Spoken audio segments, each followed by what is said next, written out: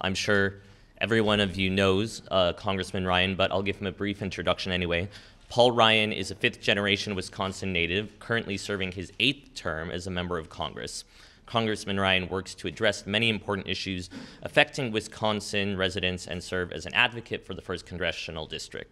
Um, he was the Republican Party's 2012 vice presidential candidate and is currently the chairman of the House Budget Committee, where he works to bring fiscal discipline and accountability to the federal government.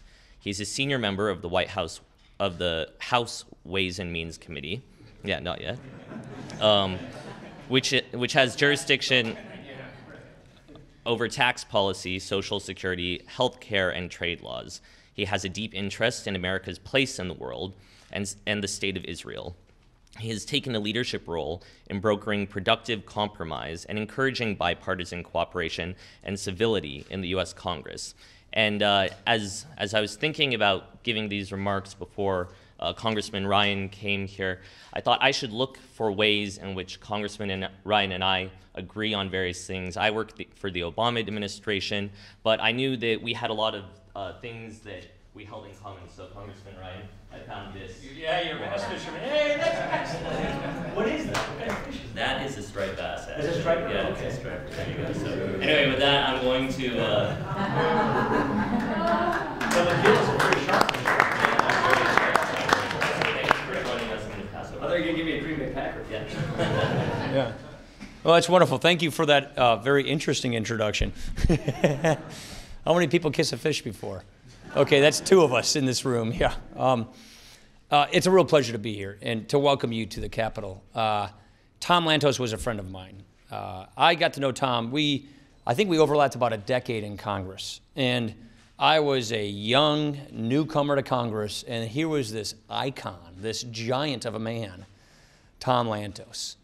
And uh, the one thing we had in common was my mentor was a man named Jack Kemp, who was close friends with Tom Lantos. And from that point on, uh, with that introduction that occurred when I first came to Congress by Jack, uh, Tom was just one of the most gracious people I ever served with. Uh, we didn't always agree on every particular issue, especially on domestic uh, policy. But when Tom Lantos spoke, everybody stopped, everyone listened, and everybody knew that it came from the heart. There wasn't an ounce of malice in the man's mind, in the man's voice. And so he was one of those greats that we had come through here that set a great example, which is sorely missed these days, I would argue. And so, looking at his life story, which, which most of us who served with him and most of us since then um, know about, uh, need to retell what his life represents and his work here represents. His son in law uh, served in Congress with us.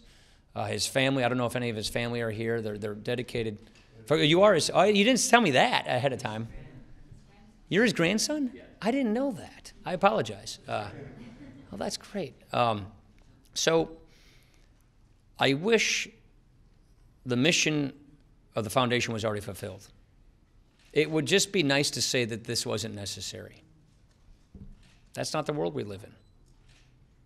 I mean, it's kind of astounding to think that someone could deny the Holocaust. Um, it's kind of astounding to think that after what all the things we experienced in the 20th century, that we would be reliving these, that we would have to retell these stories, but it is what it is. When you hear the kinds of rhetoric coming from places like Iran, um, it just shows us that the mission is all that much more important. That Tom's legacy, uh, which was a bipartisan legacy, is one that needs to be amplified even more.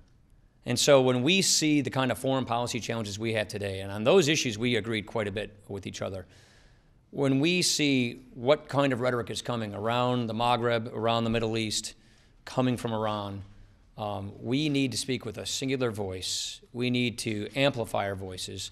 And we need to get behind the kinds of efforts that are, that are taking place uh, with the Lantos Foundation.